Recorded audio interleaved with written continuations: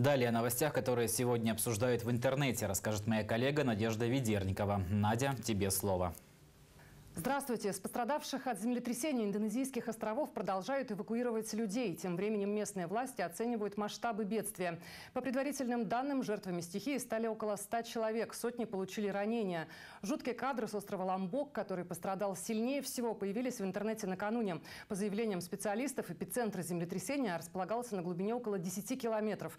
Сегодня на острове было зафиксировано более 130 повторных толчков. В Казани из-за сильного ливня затопило автобус. На опубликованных в интернете кадрах видно, что вода залилась в салон прямо во время движения. А из автобуса пассажирам пришлось выходить почти по пояс в воде.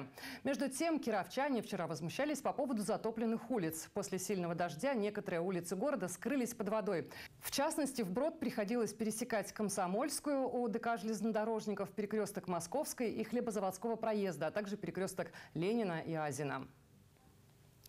А в пригороде Кирова в выходные произошел странный пожар. Автомобиль вспыхнул в ночь на воскресенье на Победиловском тракте у Дороничей. На место быстро выехали пожарные, но несмотря на их усилия, у грузовика вы, выгорела кабина. Ориентировочный ущерб составил около 100 тысяч рублей.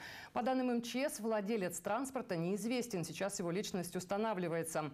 Примечательно, что в поджоге КАМАЗа решил признаться некий мужчина, который находился на месте пожара. Я император Леонид Первый. Я почему эту машину сжег.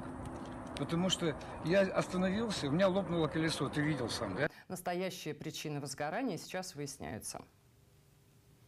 И, наконец, интернет-пользователей просто поразило видеоблогер из Китая. Девушка по имени Ци Хуаху опубликовала ролик с макияжем и без него. Косметики на перевоплощение ушло, конечно, немало, но результат того стоил. Перед камерой как будто появился совершенно другой человек. После всех манипуляций девушка смыла макияж, показав пользователям, что это действительно она. Ролик быстро разлетелся по соцсетям и уже стал вирусным.